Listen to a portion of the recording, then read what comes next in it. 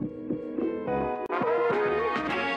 Всем привет, с вами снова Алина, и сегодня я хочу рассказать вам про 8 моих самых любимых бюджетных продуктов, которые я купила за свои деньги, мне никакие бренды их не присылали, и я хочу поделиться этими классными штучками с вами. Я собрала коробочку со всеми этими средствами и поняла, что практически ими всеми я и делаю свой повседневный макияж, и если вам, кстати, интересно видео про мой повседневный макияж, оставьте это в комментариях. И по какой-то сложившейся традиции все обычно начинают подобные обзоры с тональников, с консилеров, консилеров, я не буду оригинальной, и покажу вам свой самый любимый тональник, который я использую, наверное, уже года 4, то есть, вот, как он появился, так я им, наверное, и пользовалась. В общем, это тональник от фирмы Catrice All Matte, у меня оттенок 0,25, и это просто божественный тональник. Я реально за все эти 4 года, по-моему, ни разу ему не изменила, то есть постоянно в своем макияже, повседневном, вечернем, я использую именно его. У меня там были какие-то попытки там с Maybelline подружиться, но нет. Этот малыш, причем он реально довольно бюджетный, просто лучшее, что происходило с моей кожей. И знаете, наверное, самый важный показатель то, что многие незнакомые девушки подходили ко мне и спрашивали, а каким тональником я пользуюсь. То есть они не говорили, какая у тебя там классная кожа, нет, они именно спрашивали,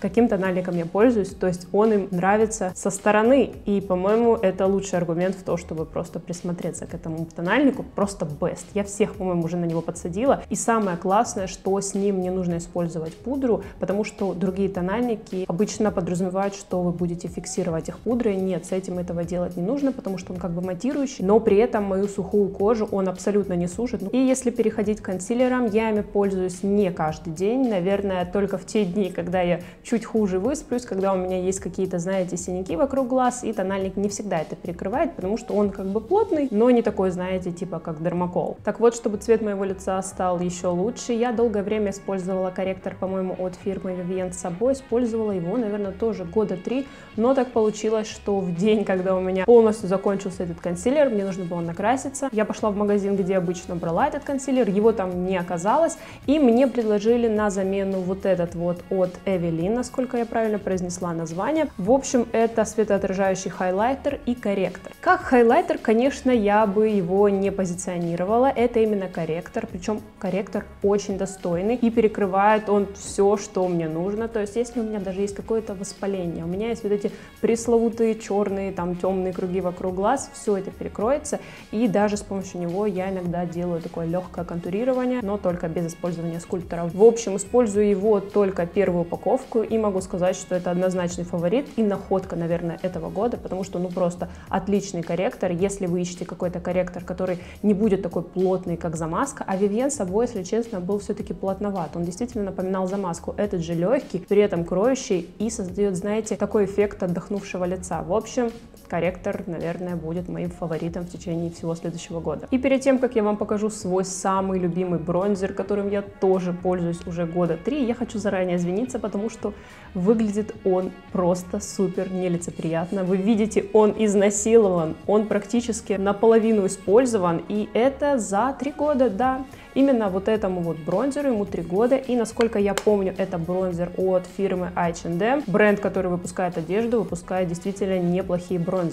Если вы будете в этом магазине, обязательно присмотритесь к этому бронзеру. Я, кстати, не знаю, выпускают их до сих пор или нет. На днях, кстати, пойду в H&M, заодно узнаю, потому что, ну, этого малыша нужно обновить просто даже по эстетическим соображениям. Он мне очень нравится, но я бы, наверное, купила новый, потому что пользоваться таким изнасилованным, ну, даже как-то не эстетично. Он идеально подходит мне по цвету и создает на моем лице легкий эффект загара и при этом не выглядит так, как будто бы он какой-то там оранжевый. И очень мне важно то, что он не имеет, знаете, запаха автозагаров. То есть бывают бронзеры пахнут ну, очень специфически. У этого запаха, который меня раздражает, абсолютно нет. Он запахов вообще никаких не имеет. Зимой, летом, весной, осенью пользуюсь им круглый год. И этот малыш всегда есть в моей косметичке. И сейчас приготовьтесь, я покажу вам самый нереальный хайлайтер, который можно только найти за 200 рублей. Я действительно его покупала за 200 рублей, это было буквально позавчера, потому что я вам могу показать, как выглядел тот хайлайтер, который я покупала 4 года назад.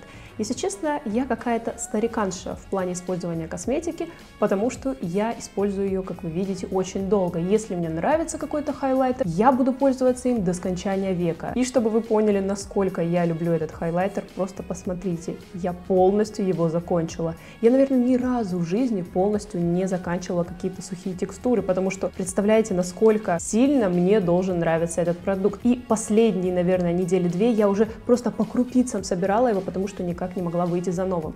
Так вот, что же это за хайлайтер? И ирония заключается в том, что на самом деле это вообще-то не хайлайтер, а запеченные тени от фирмы Divage Color Sphere. И у меня конкретно оттенок 19 и оттенок 18. Но так получилось, что предыдущий хайлайтер, который я изнасиловала, который я вам показала, он был в 20 оттенке, но сейчас его почему-то не выпускают. И я очень расстроилась, но в то же время мое расстройство ничем не подкреплено, потому что я уже, если честно, и не помню, как он выглядел раньше, когда я его только купила, потому что последний год я, наверное, использовала его в том состоянии, когда уже было видно его дно. Так вот, я купила вот эти вот два малыша, один из них потеплее, другой похолоднее, я их иногда смешиваю, но, если честно, наверное, моим самым любимым будет 19 оттенок. Боже мой, какой же он классный.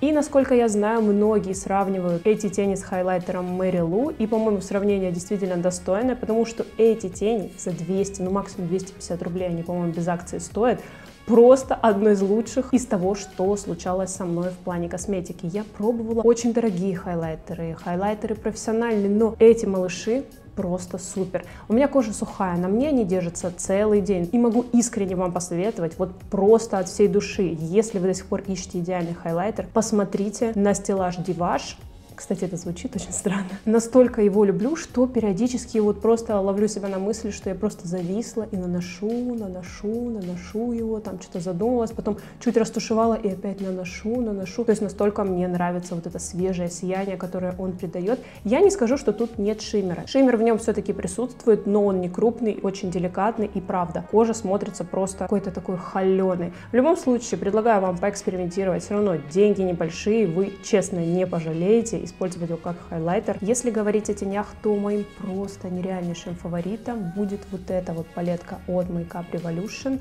Это Iconic 2, и это полный аналог теней от Urban Decay. У меня в инстаграме был пост, где я рассказывала об этой палеточке, я оставлю на него ссылку в описании, можете ознакомиться. Самая его потрясающая особенность заключается в том, что кроме того, что он практически идентично повторяет цвета из вышеназванной палетки, так и стоит на 4000 дешевле дешевле. То есть вы понимаете, 4000 рублей разницы, а качество вы получаете действительно такое же. Тут есть и матовые, и шиммерные оттенки, но очень мне нравится тот момент, что шиммерные оттенки, они на глазах выглядят как какие-то пигменты, даже если вы наносите их сухим способом. Если же вы захотите нанести их влажным способом, то это будет просто какой-то космический эффект, при этом не будет, знаете, там каких-то осыпаний, каких-то блесток по всему лицу. Нет, все очень деликатно и в стиле, опять же, этого самого Urban Decay. Просто потрясающая палетка, и очень многие, я знаю, ее любят за идеальный черный матовый тон, потому что им очень удобно рисовать, например, стрелки. Я стрелки не люблю рисовать какими-то жидкими гелевыми подводками. Мне больше нравится эффект, который я достигаю использованием именно вот этих вот теней. И если я рисую стрелки, то, скорее всего, это будет как раз-таки с использованием этих теняшек. Короче, если вы ищете какую-то идеальную палетку теней, то обязательно обратите свое внимание на эту. Правда, не пожалеете. Цена у нее более чем демократичная, а качество, ну, просто космос. И, кстати, во всех моих предыдущих видео и в сегодняшнем у меня на глазах как раз-таки тени из этой палеточки. Сегодня я использовала вот этот вот оттенок, и еще я иногда использую вот этот оливковый, то есть это два моих любимых оттенка. Если переходить к губам, то могу сказать, что опять же, уже далеко не первый год моими фаворитами являются вот эти вот карандашики от Vivienne Sabo, и конкретно Наверное, как видите, самый измученный карандаш в 202 оттенке, потому что и сейчас он у меня на губах, правда, он в смеси с блеском, который я покажу дальше, но могу сказать, это лучшие карандаши из всех, что я пробовала, и использую я их именно как помаду, наношу на все губы, смешиваю, например, с бальзамом, и я знаю, что в течение дня они точно там как-то сильно меня не подведут, и при этом, иронично, но все оттенки из этой коллекции мне подходят, особенно я люблю 101, 102, 103 и 202, то есть 4 моих самых любимых оттенка. Если вы ищете какую-то универсальную помаду, какой-то универсальный карандаш, обратите свое внимание на этих малышей. 202 тон реально идет всем. Я не знаю ни одного человека, ни одну девушку, которой не идет 202 карандаш от Vivienne Sabo. И всегда в каждой косметичке, в каждой моей сумочке у меня есть на какой-то непредвиденный случай по карандашику. И вот, кстати, блеск, о котором я говорила ранее, который у меня сегодня тоже на губах, я его совсем чуть-чуть нанесла, и это блеск от Luxe Visage. Я тоже его, по-моему, показывала в каком-то из своих видео. Его самая крутая особенность он пахнет арбузиком. Это же просто божественно. Очень важный момент, что этот блеск абсолютно не липкий. Я не скажу, что он, знаете, как вода на губах. Нет. Но по сравнению с другими блесками, которые я пробовала, этот просто супер не липкий. И при этом он не создает на губах, знаете, какое-то такое колхозное сияние, как в нулевые. Нет, все очень деликатно, и губы смотрятся более ухоженными, увлажненными, потому что, когда используешь карандаш, какую-то матовую помаду, губы зачастую пересыхают и выглядят не так ухоженно. Нет, если вы хотите, чтобы ваши губы выглядели, знаете, так чуть более роскошно, то обратите свое внимание, это белорусский бренд. Стоит этот блеск тоже очень дешево, и попробовать его я бы, наверное, рекомендовала каждой. И конкретно я рекомендую оттенок 10, потому что, на мой взгляд, это самый удачный, он идет всем, и он прекрасно сочетается с абсолютно любыми помадами, карандашами. В общем, мой любимчик. И последний на сегодня супер классный бюджетный продукт, это вот эта вот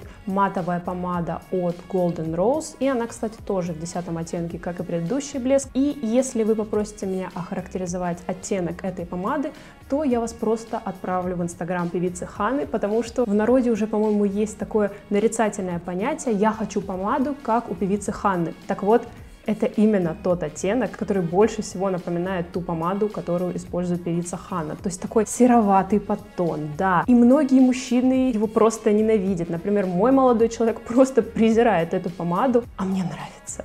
Вот ничего не могу с собой поделать, мне очень нравится оттенок этой помады. Он стильный, и он только для женщин. Реально, мужчинам не нравится абсолютно. Но, кстати, это не единственный оттенок в линейке этих помад. Они супер стойкие, это правда. Они не сушат губы. Ну, то есть сушат в меру. Нельзя говорить, что какие-то матовые помады вообще не сушат губы. Нет.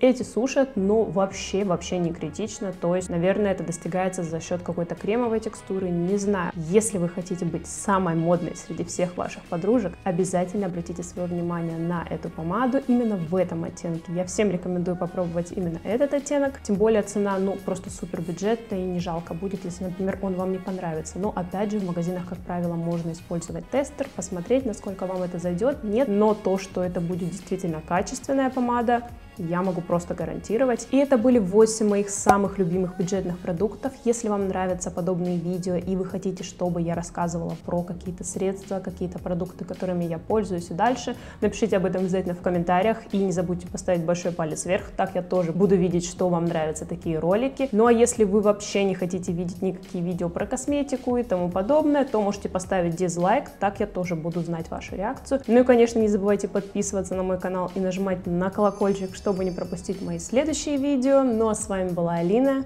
Увидимся в следующем ролике. Пока!